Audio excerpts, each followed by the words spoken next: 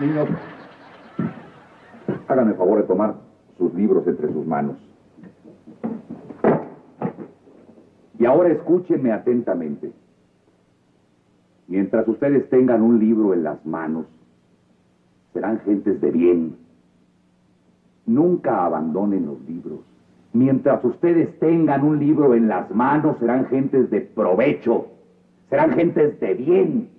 En otras palabras, Mientras tengan un libro en las manos, serán como yo.